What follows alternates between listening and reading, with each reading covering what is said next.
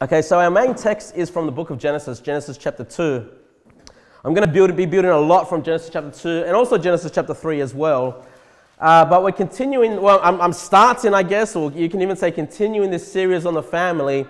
If you weren't here for last week's sermon about God ordained institutions, I really recommend, I don't normally recommend sermons right behind the pulpit of my own, but I really recommend you listen to that one if you've not heard it yet. Uh, so that way, moving forward, this sermon and other sermons will make a lot more sense, I believe, okay? Um, because we're talking about the institution of the family, and that is one of the four institutions that God has ordained uh, upon man and upon this earth. Look at verse number 7 of Genesis chapter 2. Verse number 7, the Bible says, And the Lord God formed man. The title of the sermon tonight is God formed man. Okay? And I'm going to be touching on family Okay, but I'm not going to get too deep into a marriage. I'm not going to get too deep into the family structure itself. I really want to talk about just being a man. Okay, why God created man, what's the purpose for man, and as a man, what gives us the most satisfaction? Surely God knows what we're good at. Surely God knows why He created us. And surely God knows what gives us the greatest joy, what gives us the greatest satisfaction as a man. And obviously, having a family of your own is part of that, okay? But I really just want to start with this, with this series on the family. I'm not even sure how many sermons it's going to take, but I don't want to get too deep into, like, have one sermon and get too, into too much information. I really just want to have bite sized sermons as we go through this concept of the family, okay? But let's, let's start with verse number 15, Genesis chapter 2, verse 15. The first day, day number six, is the day that he creates male and female, right? Man and his wife. And on the very first day that Adam is created, in verse 15, the Bible says, And the Lord, the Lord God took the man and put him into the Garden of Eden to dress it and to keep it. Okay? So there are three points that I want to preach on tonight. And those three points is basically what it, what it means to be a man and what gives you great satisfaction as a man. The point number one is that it's man's job to work a job. Okay? God has put Adam on his very first day of creation and told Adam, I need you to go and work. Okay? You need a job, Adam. You know, it's not good for you to be lazy. It's not good for you to just hang around your house. You need, on your very first day, Adam, to go and, and work for me. Okay? Now, at this stage, sin had not yet entered into the world, obviously. Okay? You know, sin had not entered into the world, but yet, even then, you must understand, because some people have this misconception that working is, is a part of the curse of God. And there's a part of that, but I want you to understand working a job is not a curse. Okay? Even before sin entered into the world, it was God's plan for man to work. And you might say, well, why is that? That's not fair. Well, remember last week when we talked about God ordained institutions, why does God want institutions? Why does He want law and order? Why does He want an authority structure? It's because primarily when we look at God and as to who He is, we see the triune nature of God and we see this authority structure within the Trinity. Okay? And so, likewise, His creation, His intention for things to be orderly upon this earth is the same thing that there would be a head and there would be an authority structure. Okay? So the question begs why does God want man to work? Well, again, we just look back to God. Okay? We read chapter 2, look at verse number 1, chapter 2, Genesis chapter 2, verse 1. Thus the heavens and the earth were finished. This is all, you know, at, at the end of day 6, right? God created all his creation and all the host of them. Now, notice the next two verses, verse number 2. And on the seventh day, God ended his work. Okay? The very first thing we learn about God is that he's a working God. Okay? He created, he, he made creation. In the beginning, God created the heaven and the earth. Guess what? Day number one of, that we see about the beginning, before man's created, we see God working. Okay? And so, just like God has that authority structure within his own nature, and so he sees fit to have uh, institutions with an authority structure upon this earth. The reason why he has got a man to work is because he's a working God. He set the example right from the beginning. We don't see God taking it easy, relaxing. No, he's working. Okay, He's uh, uh, um, uh, creating all things. Okay, uh, let's keep reading there. Uh, uh, verse number two. And on the seventh day, God ended His work which He had made, and He rested on the seventh day. What? From all His work which He had made. The Bible tells us God had to rest. You know, this, it took something out of him. It took an effort from God that he had to rest on the seventh day. Okay? And then verse number three, and God blessed the seventh day and sanctified it because that he, he had rested from all his work which God created and made. Okay? So the reason why, and we know that man was created in the image of God now, I don't know if you know this or not, we won't go into it right now, but the Bible says that man was created in the image of God, but it doesn't say that females or women were created in the image of God. Okay? It actually specifically says that it was man that was created in the image of God. And if we have a working God and we're an image of that God, then we ought to be working men.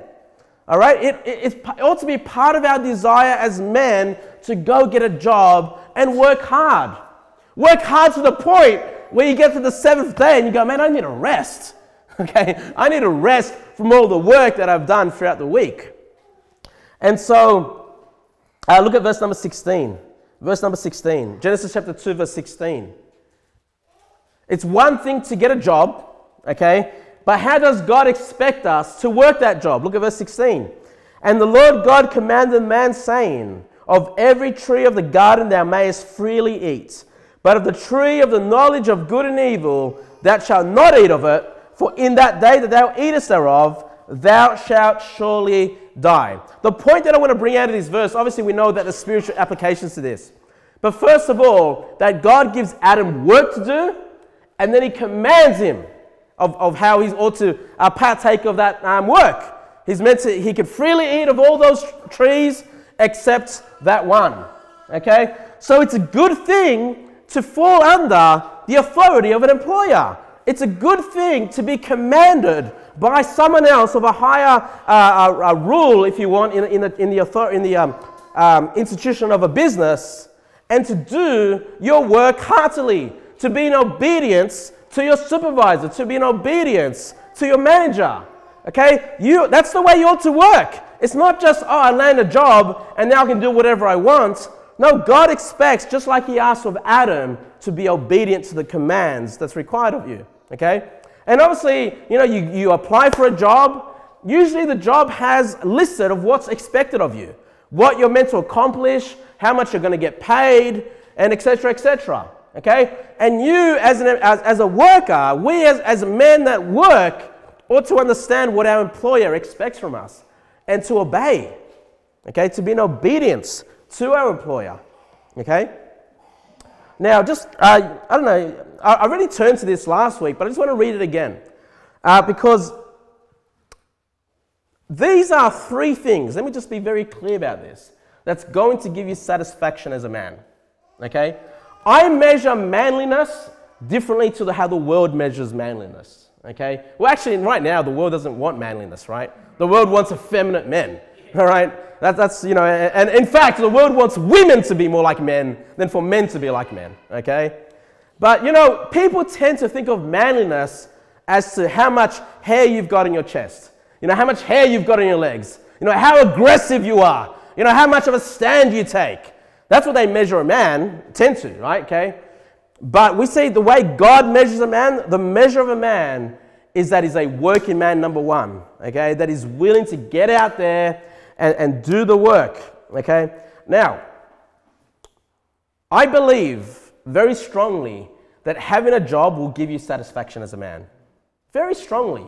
You going out and being productive with your hands, productive with your mind. Obviously, some work like laboring with your hands, you know, some work are more physical, some other jobs are more mental, some jobs are in between, a bit of physical, a bit of mental work, okay? Um, but just being a productive person and providing for your own needs, let me tell you, as a man, it's going to give you great satisfaction. Okay? It's just going to make you feel valued. Hey, I'm doing what God expects of me. I'm going out there, I'm earning a paycheck, I'm providing for my needs, and I'm not becoming reliant on anybody else. I'm not reliant on, uh, you know, on other people. I'm not reliant upon the taxpayer. I'm not reliant upon government welfare and, and payouts. You know, I'm going out there and I'm providing for myself. That's going to give you great satisfaction. But there comes a time, no matter what job you have, and I often hear this, I hear people say to me, I wish I had a job that wasn't so repetitive, a job that wasn't so, uh, uh, what's the word? Uh, it starts with M. Monotonous. That's the one, right? And I, what I find is, no matter, I've done lots of jo- different jobs, like uh, so many different jobs in my life. And I, have looked at other people, how they, they do the work. I found that no matter what job you land, it becomes repetitive. No matter what job, even the thing, the thing you think would be the most exciting, it would be so exciting if I could land this job. At some point, once you've done it enough, it's going to become repetitive and monotonous, okay? And so, and this is when people start to lose their satisfaction of their job. It's like, oh man, I, I think, you know, the pastures are greener on the other side. You know, maybe, maybe there's something else out there for me. And they lose the satisfaction. And what I want to tell you, I want to explain to you how you can be satisfied on the job. And I, I speak out of experience, okay? I'm speaking out of experience because I once had, when I was younger, my hobby was IT. I loved computers. And my first job that I landed after school was working for Acer Computers. Okay, I was building uh, PCs, repairing them, troubleshooting them, all that kind of stuff. And at first I loved it because I loved just understanding technology and all that kind of stuff. But after about five months, I was like, man, this is boring. You know, I'm just with computers all day. You know, I kind of wanted, well, I wish I had more interaction with people, you know. But then obviously I've landed a job where I did have a lot of interaction with people. After a while, I'm like, man, this is boring. You know, I wish I had a job where I wasn't dealing with people. you know, my point is, it doesn't matter what kind of job you land. At some point, you're going to be like, oh, you know, uh, uh, I'm starting to lose satisfaction in this job. And what I found was the main way, the key way that, at least for me, and I believe for all men, that you're going to maintain uh, satisfaction in the, in the workplace is found in Colossians chapter 3, verse 22. You can turn there if you want. We read this last week, but just keep a finger in Genesis chapter 2. Colossians chapter 3, verse 22. It says, Servants, obey in all things your masters according to the flesh. Just like Adam was expected to obey the Lord God when he was commanded of him not with eye service as men pleasers, but in singleness of heart, fearing God. So if you go into your workplace fearing God, this is going to change your outlook as to what you're doing. Okay, whether it's your own business, whether it's you're the employer or you're the employee, going into work knowing, hey, this is what God expects of me, this is the job that God has given me, and I go in fearing God, it's going to change your view of, of the workplace. Verse number 23 And whatsoever ye do, do it heartedly. Do it with all your heart. Do it with all your strength. Give it a hundred percent as to the Lord and not unto men. And that's what I discovered, guys. When I felt that I was working for a man, I couldn't give a hundred percent. I gave what I could. I got through the work, you know, but I found myself lacking satisfaction, you know. And then when I came across this passage and I really meditated and thought about it, I said, No, Jesus Christ is my employer. Jesus Christ wants me to work this job. And it was that that changed my outlook on work. And I started to love my job again.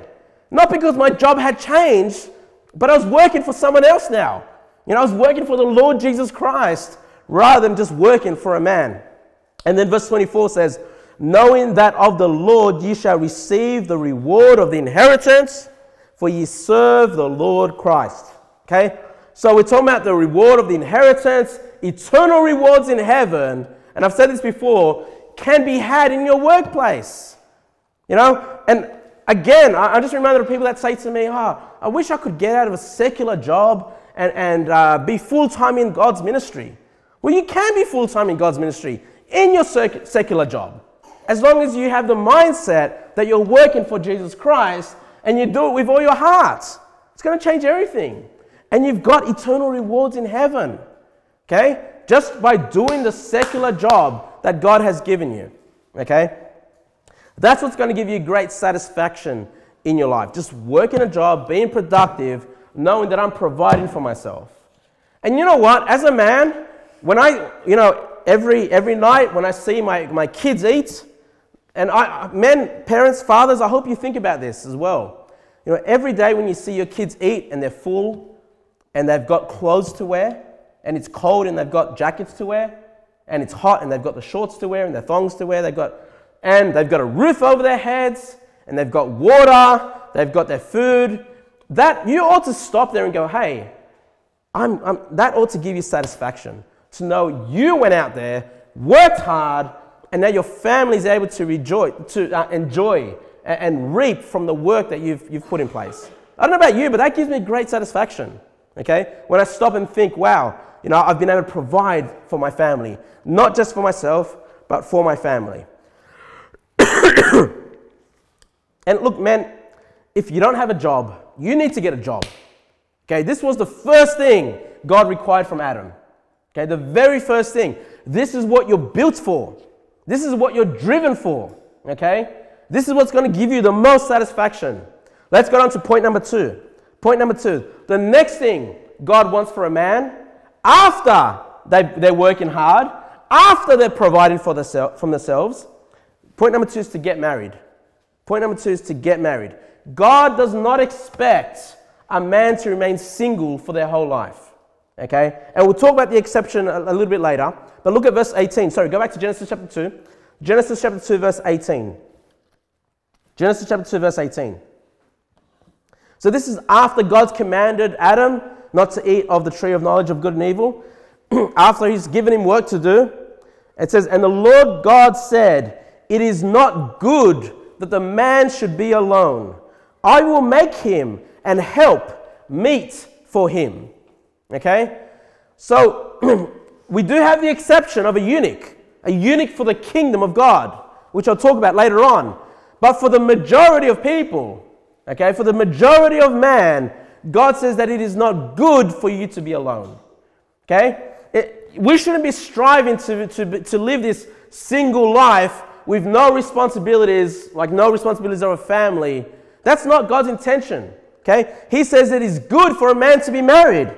And he says that he had to create a help, meet for Adam. Now, Adam is perfect pretty much. He's without sin. And yet, God realizes still in this state that he needs a help that's meet or suitable for him. Men, we, our wives, or the search for a wife, is so we can have a help. We need a helper, meaning that we can be more productive, we can do more things in our life if we find that helper, if we have that helper in our life. Okay?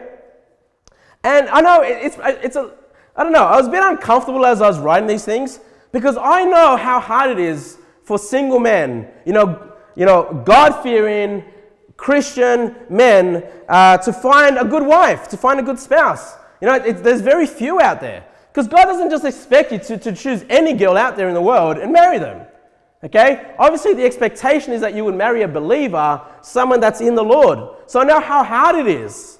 Okay? But when I look at this, it is God's will for a man to get married. It is not good for a man to be alone.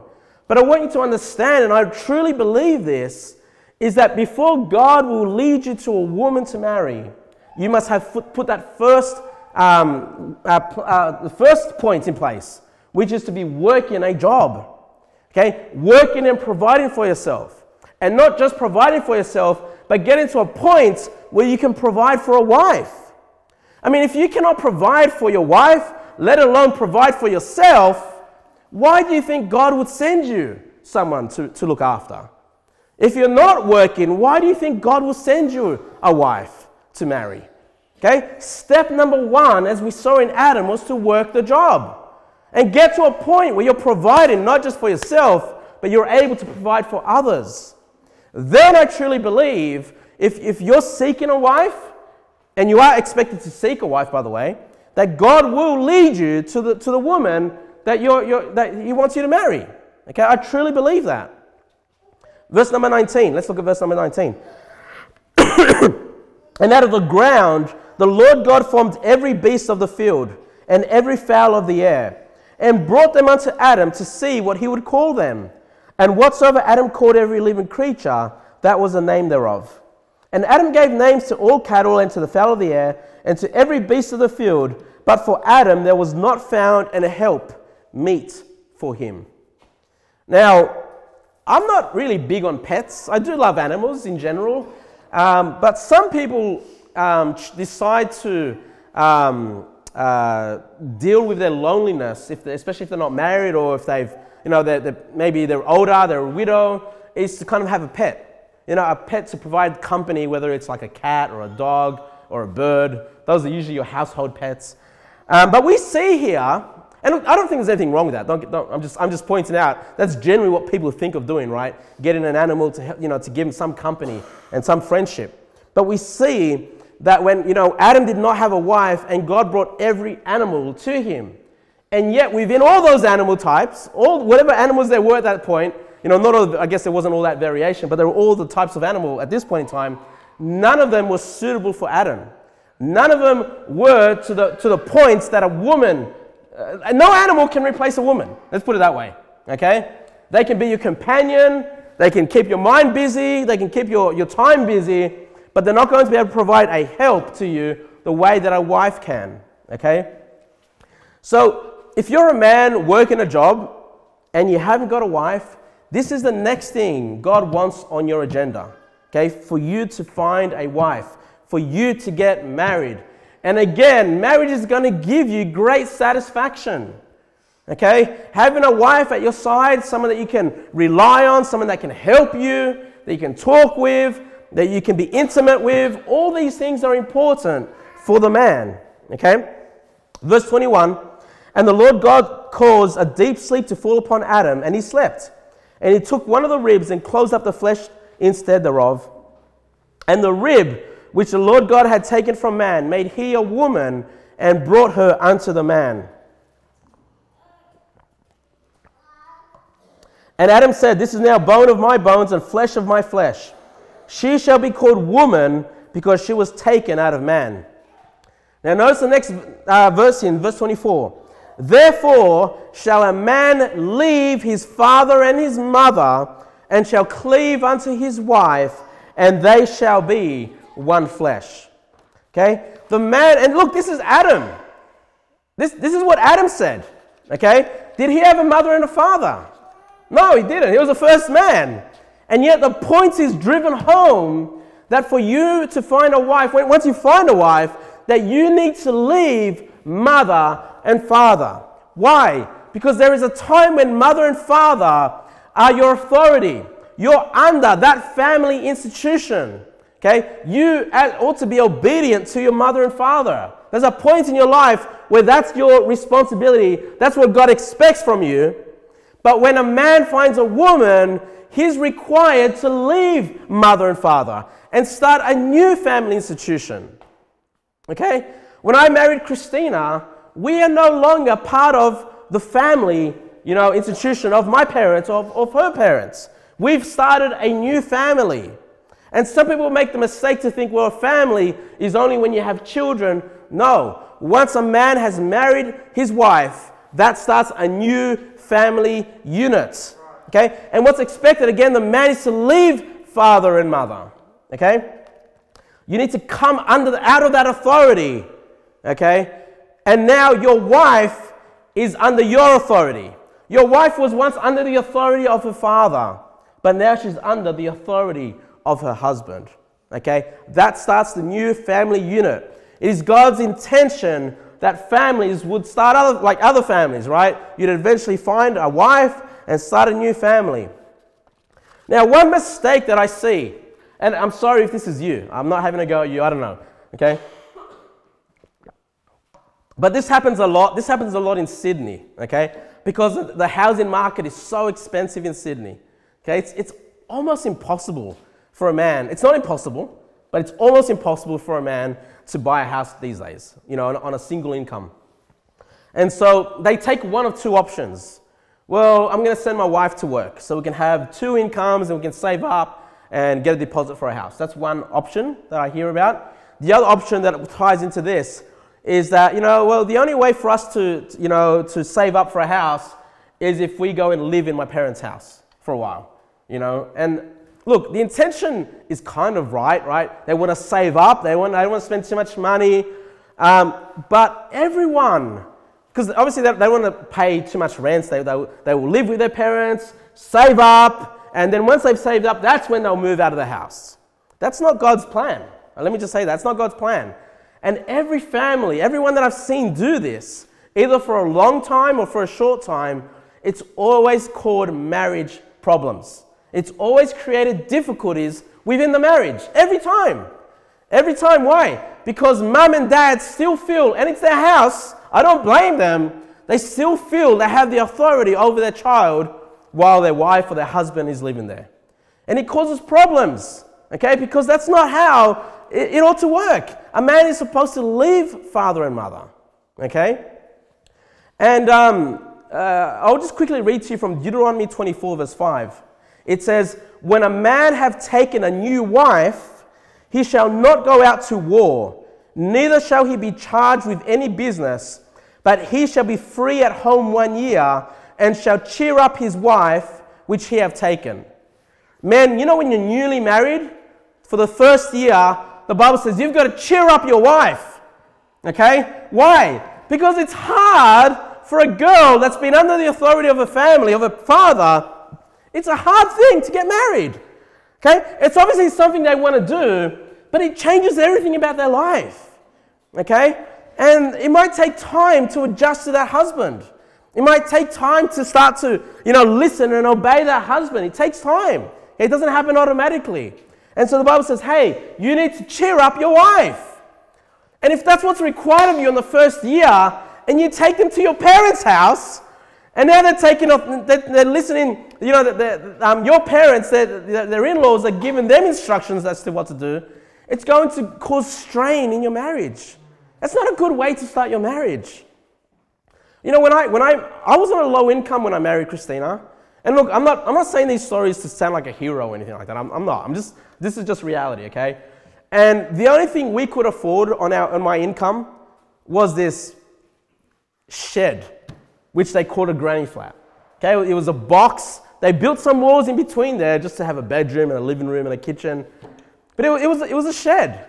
And every night, underneath the door, you'd have slugs come in every night, you know. Um, in summer, it was stinking hot. In winter, it was freezing. Hey, that's all I could afford. But you know what? I was happy. I was happy to be out of my parents' authority. Not that they were bad parents, they were great parents. But to finally start my own life with my own wife. Okay?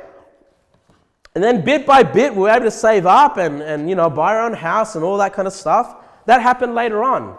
But one reason why I put off my marriage for so long, I knew Christina for, I don't know, was it four years before we got married? Four years. One of the reasons I put it off is because I had the pressures of, oh man, you've got to have this high paying job, you've got to have um, a house, you've got to have all these things in place before you get married. And I realized, no, I've got enough. I've got enough to take a wife, I've got enough to put a roof over our heads. We won't have a lot of possessions, but I want to start my marriage, you know, well with my wife. I just want to have my own family unit. And that gave me great satisfaction. You know, your wife ought to give you great satisfaction. Just being married to your wife. I'm not talking about, you know, the marriage trials right now. We will, we'll get into that. That's, outside of the scope of this uh, sermon. But the second thing that will give you great satisfaction as a man is to be married, is to have your own wife. Okay? Um, and the Bible says, go back to Genesis chapter 2, Genesis chapter 2, verse 25. Actually, you know what? Maybe turn to 2 Corinthians, no, turn to 1 Corinthians chapter 7. 1 Corinthians chapter 7. And while you're turning there, I'll just read 25 of chapter 2. It says, And they were both naked, that's Adam and Eve, the man and his wife, and were not ashamed. Okay? So obviously, this nakedness speaks of the intimacy, you know, being of the one flesh that they were, and they were not ashamed of that. You know, that's a natural part of being married. Okay? That's, that's you know, obviously we should be mindful as to how we talk about these things. But there's, it's, it, it's nothing wicked, it's, there's nothing wrong with having an intimate relationship with your wife. Now, 1 Corinthians chapter 7, I know we've gone through 1 Corinthians already uh, in, our, in our Sundays, you know, Uh, but I just want to touch upon these things again. Look at verse number 2. 1 Corinthians chapter 7, verse number 2.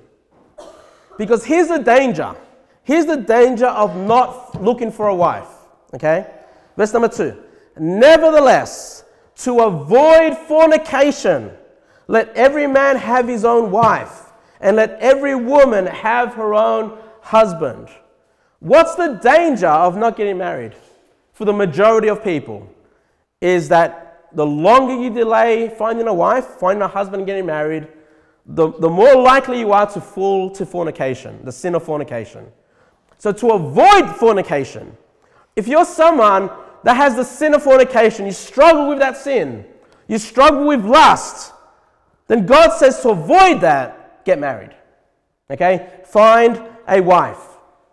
Verse number three it says, Let the husband render unto the, unto the wife due benevolence, and likewise also the wife unto the husband. Okay? Now, there is an exception to this, and I want you to understand this. So, most men that I've interacted with in my life, most men want to get married. Most men want a wife. Okay? Most men want that physical intimacy with a woman. Okay? But there is that one exception. Look at verse number 8 in 1 Corinthians chapter 7 verse 8. Paul writing says, "I say therefore to the married sorry, to the unmarried and widows, it is good for them if they abide even as I." Okay?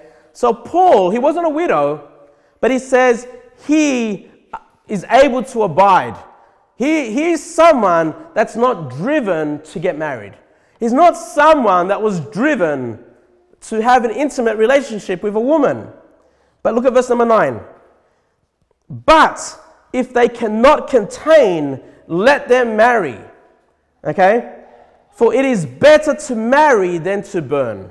Okay? That's like burning in lust and, and seeking fornication. It's better to marry than to suffer, you know, the, uh, these feelings. These are natural, okay? Wanting that physical intimacy. But he says he's able to abide, he's able to remain unmarried. He doesn't burn with this desire, okay? And you might say, well, maybe, you know, that's not very manly. No, he was, he was just, in fact, he's one of, the, one of the greatest men in the Bible, Paul was, okay? And he was unmarried. But I want you to understand that this, Paul was a eunuch. Paul was a eunuch for the kingdom of God. He kept himself from having a wife. He didn't have that uh, intimate desire. Look at verse number 7. Look at verse number 7 there in 1 Corinthians chapter 7. Look at verse 7. Paul says, For I would that all men were even as I myself. But then he says this, But every man hath his proper gift of God, one after this manner and another after that. So it says, Look, my ability to not burn and have these desires, yes, I would like more men to be this way, because they can serve the kingdom of God even more so the way I am. But it says it is a gift. Okay? Now, I want you to understand this very clearly. If you have that burning desire for a woman, you, are, you do not have the gift of a eunuch. Okay? You can't say, well, I haven't found a woman to this point, uh, and then say, well, maybe God wants me to be a eunuch. No. There's a proper gift given by God where you don't burn in that desire. And if you've burnt in that desire and you have that desire, it's, it's not God's will for you to be a eunuch. Okay? And, and throughout my whole Christian life, I can probably only think of two men that I've come across that one man that I think is pretty much serving as a eunuch, serving for the kingdom of God, and another man that probably would have been better off that way, okay, because he just doesn't have that, that desire whatsoever. Um, it, th- these are very rare cases. The vast majority of men want a wife. Okay? And so if you're a young a man and you're, you know, you're working, you're able to provide, you ought to desire a wife. And uh, let me just say, you ought to tell God you want a wife. And you ought to be searching for one. This is going to give you great satisfaction. Okay? Uh, now, let me just quickly read to you from Matthew 19, verse 10. It's up to you if you want to turn there. You know what? Actually, I'll get you to turn to Proverbs chapter 5. Turn to, turn to Proverbs chapter 5. I want to read to you from Matthew 19, verse 10, while you turn there.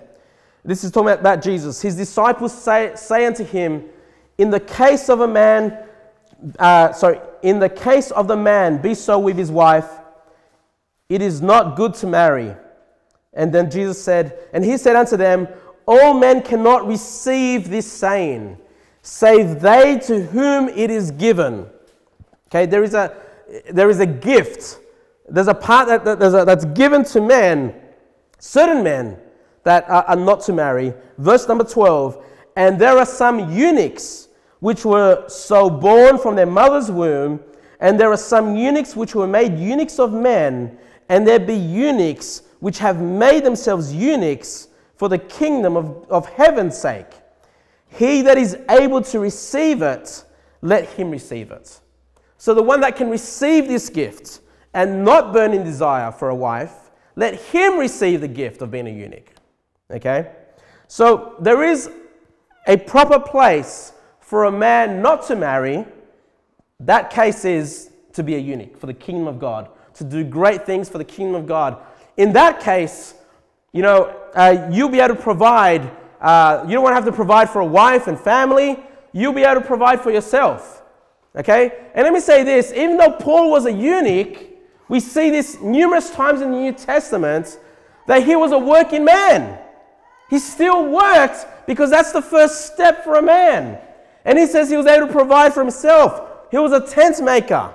Okay? And he didn't want to burden the churches that he visited to get an offering from them. Even though he had the power to do that, he sought to now provide for himself.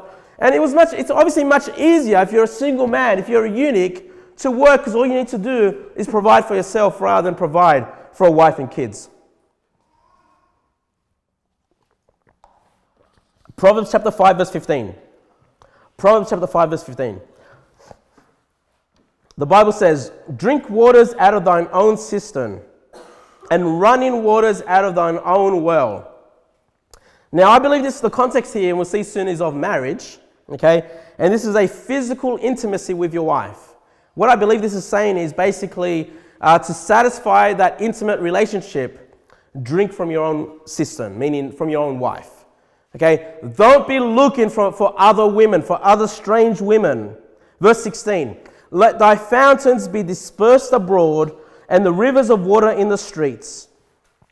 Let them be only thine own and not strangers with thee. Look at this in verse 18. Let thy fountain be blessed. This fountain is like the cistern where, where, uh, where the waters come from. And rejoice with the wife of thy youth. Okay? Of thy youth. Let me drive this home, especially to the younger um, boys here is that, look, God wants you to get married at a young age. He doesn't expect you to live this single life forever, you know, to shack up, you know, with, with your, with your um, best friend, you know, and, and just have a, have a single life. You know, he, God ex- wants you to get married at a young age. He wants you to rejoice with the wife of thy youth. So let me just say, if you're of a marriage age, Start looking for a wife. Start asking God to bless you with that. I truly believe God will answer his prayers to you because that's what God expects for man. That's what he wants for a man. Okay? And you might say, well, Kevin, hold on, our church is quite small. There's not a lot of choice of, of, of young ladies or of young men. There's not a lot of choice out here. Look, I've seen churches full of young people and they don't want to marry each other. All right, honestly, churches full of young ladies, single ladies, full of young men, and you talk to the ladies and say, hey, why don't you get married? There's a lot of options here. Uh, I don't like any of those guys in my church. You know? And you ask the guys, oh, yeah, I don't like any of those girls in our church. And they, they start looking elsewhere. I mean, look, you know, having the excuse that our church doesn't have enough young people, young single people, it's not an excuse. You know, you might find your wife out knocking doors. You might get her saved and then she becomes your, your wife. You know, I, I got my wife saved, and then I married her. All right? There's other ways to find a wife. You don't need to strike once. Okay? And if there's a woman that, that's, you know, in your life, she's saved, you know, I would say, hey, you know, make some attempts. You know, push forward. You know, it's like finding a job. You know, you, you go and you apply for a job. You send in your resume, right? You go and you do the interview. And then usually you get knocked back. And then you apply for another job. And then you get knocked back. And you apply and you apply and you apply. And at some point, you land a job. You know, I, I believe it's the same thing for a wife. You know, you apply. you know, you put yourself out there, you make it known, you show your wife, you know, you, you know uh, uh, the, the, the young lady, you show them, hey, look, I'm working, I can provide for myself, I can provide for you, because this is what ladies are looking for. Okay? I know that I know the TV tells us she's looking for the soft, effeminate man. You know, the one that's in touch with his feelings. You know, uh, I know that that's what the, that's what the media tells you, right? Or that she's looking for the muscular. You know, the one with the six pack. And the one that, that, you know, the one that plays sports and, you know, it, eh, no. You know what a woman's looking for? She's looking for a man that she knows is responsible, a man that's working, a man that she knows can look after her, provide her security. Why? Because she's got a vision of a father, usually, right? Of a father that's protective, that looks after her, and she wants those same comforts in her husband. That's what you need to be working toward. You know, showing them, hey, I can look after you. I can provide for your needs if you will have me. Again, starts with work. Okay? Uh, verse 19, Proverbs chapter 5, verse 19. Let her be as the loving hind and pleasant roe. Let her breast satisfy thee at all times, and be thou ravished always with her love. Always. You say, ah, oh, I'm not ravished by her love anymore. You know, we've, we've been married 10 years now. It's, you know, it's gotten a bit stale. No, Bible says always, okay, with her love. This is something we need to work toward. And again, I'm not getting too much into marriage this time, outside of the scope. Uh, and then verse 20, and why wilt thou, my son, be ravished with a strange woman and embrace the bosom of a stranger? Okay, so the more you delay looking for a wife, the more likely you are to find the bosom of a stranger and be ravished in that. Okay, an ungodly whore, and, and that's, that's where you're going to find satisfaction. No, that's not the instruction. Find a wife in your youth. Okay? And look, the other danger is, and it's not really in my notes, but the other danger is if you lose, if you're not ravished by her love always, even 10 years into marriage, then you might start looking elsewhere, you know, and cause other strains in your marriage. Hey, you need to maintain love in your marriage all the way through it, okay? That's outside of, my, outside of the scopes. Verse 21 For the ways of man are before the eyes of the Lord, and he pondereth all his goings. His own iniquity shall take the wicked himself, and he shall be holden with the cords of his sins. He shall die without instruction, and in the greatness of his folly he shall go astray. This is a man that looks for love in a strange woman instead of his wife. Okay? Now, um, so let me just, yeah, let me go to chapter 18, Proverbs chapter 18, verse 22. Proverbs chapter 18, verse 22. I really want you to pay attention to this verse. Okay, because again, one of the problems that I see in a lot of churches, okay, is that the pastor says, well, just pray. Just, and I'm not against praying. Pray for a, for a wife and let God just send one your, you know, your way. Just be patient. Just, just sit still and wait for, for um, you know, God to send a wife your way. But look at Proverbs 18 22. The Bible says, Whoso findeth a wife Sorry, yeah, find a wife findeth a good thing and obtaineth favor of the Lord. What does God want you to do? To sit back and wait for God to provide a wife? No, he says, go and find her. It's like a hunt. You got to get out there and start looking. going out there and start applying, right? Applying yourself. Go and find a wife. That's what God wants you to do, okay? And this will build your character. You know, this will build, you know, just, just the, uh, this will take down your pride because you're going to get rejected every now and again. Okay? And you'll be like, it doesn't matter if I get rejected. Okay? I'm not so proud. I'm going to try again. I'm going to keep looking until I find that wife and obtain favor of the Lord. Okay? So the second point that I wanted to cover is find a wife. This is going to give a man satisfaction. This is the measure of manliness, okay? Unless, you know, God has given you the gift of being a eunuch. And I just want to cover just very quickly, you don't need to turn there, 2 Corinthians 6.14, who do I marry? Be ye, un, sorry, be ye not unequally yoked together with unbelievers. God does not want you to marry an unbeliever. It's going to cause you more problems in marriage. Okay? And if you've married an unbeliever and that's where you are right now, then you know you just need to work in that marriage because God hates divorce. Okay? He doesn't expect you to divorce someone just because they're an unbeliever. Okay? We're not going into divorce right now. And then 1 Corinthians 7:39, the Bible says, "The wife is bound by the law as long as her husband liveth, but if her husband be dead, she is at liberty to be married to whom she will, only in the Lord." So you know, you can marry. God wants you to marry, but only in the Lord someone that's a fellow sister in the Lord, or if you're a woman, someone that's a brother in the Lord. That's what you're looking for. Uh, you know, if you're a woman, that's what you're looking for. Number one, that he's a believer. And then you go, okay, I've checked the box as a believer, I'm going to marry him. No. If he's lazy and slothful, that's not, look, your father's not going to want you to marry that man.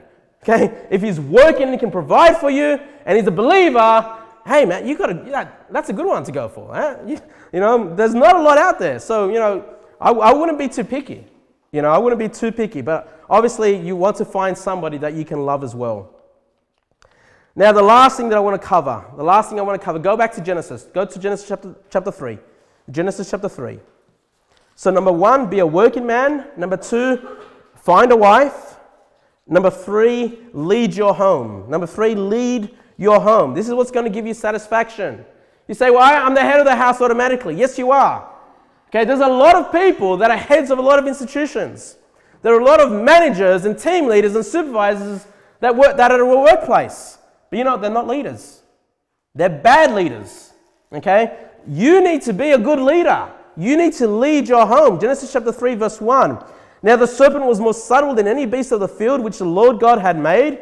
And he said unto the woman, Yea, hath God said, Ye shall not eat of every tree of the garden? Notice that the devil goes after Eve. Notice that the devil goes after the wife. Men, you need to understand this.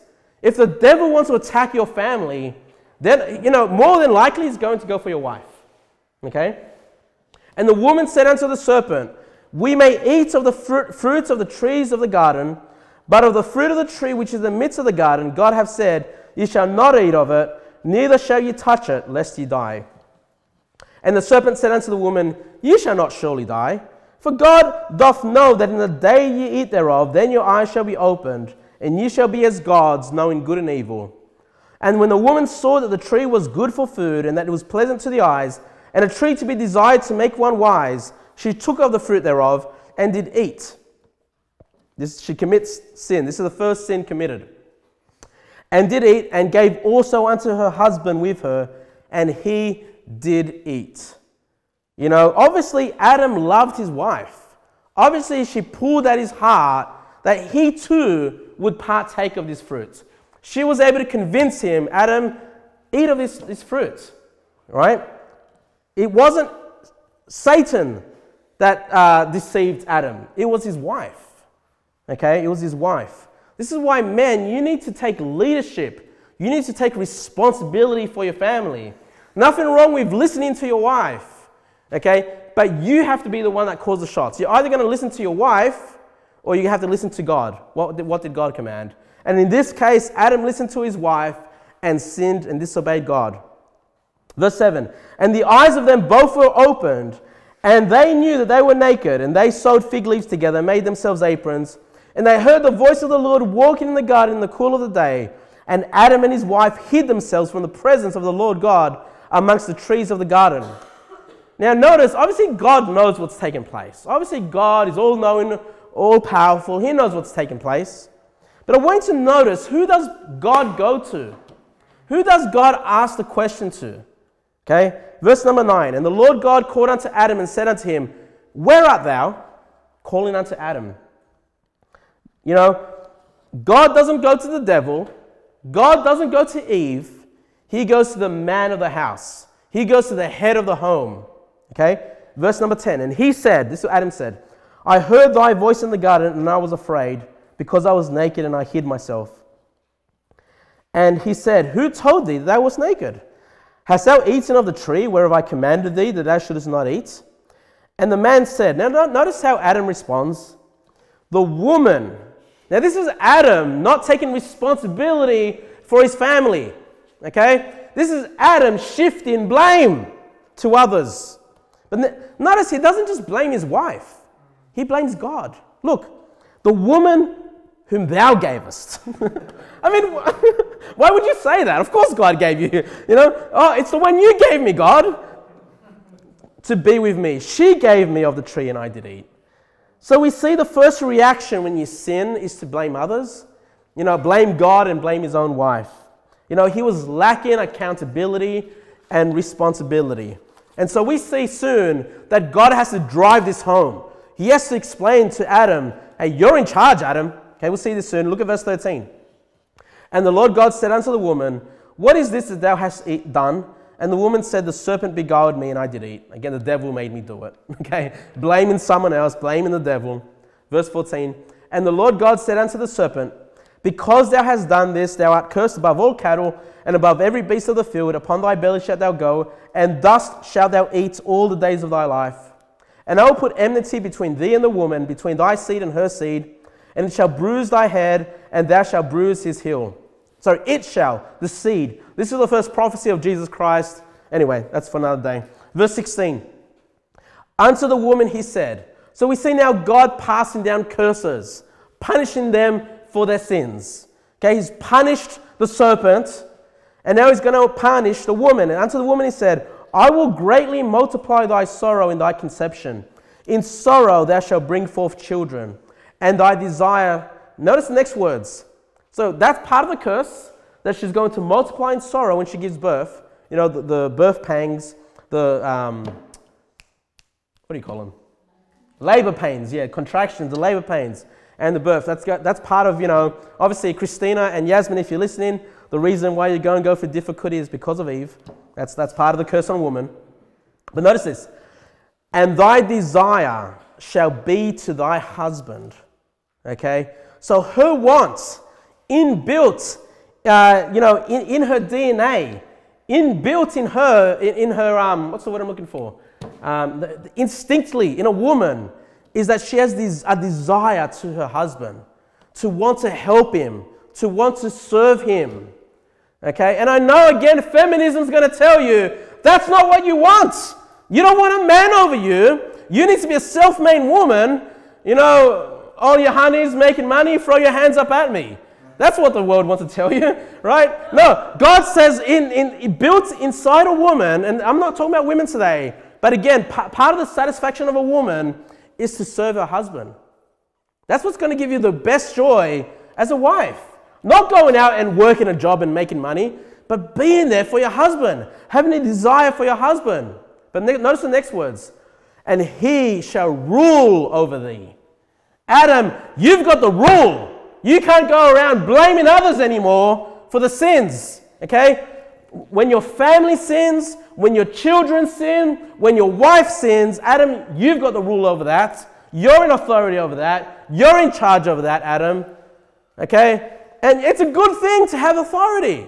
You know, it's a good thing to, to want that rule, but understand it comes with responsibility and accountability before God.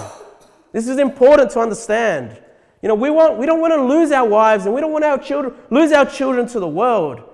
Okay, we'll say, well, uh, you know, my wife is like this. No, God's going to say, why is your wife like that? Why haven't you instilled, uh, you know, why haven't you loved her enough? Why haven't you led her enough? Why haven't you taught your kids, you know, the word of God? It comes down to the man. The man will have rule over her. And back to just, I'll just read to you Ephesians 5.23. It says, for the husband is the head of the wife, even as Christ is the head of the church, and he is the savior of the body. Hey, it's a good thing that Christ is the head of the church. And it's a good thing for the man to be the head of his wife. This is not a bad thing, okay? But it's part of the curse of a woman that she would have the desire to serve her husband. Verse number 17, Genesis 3:17.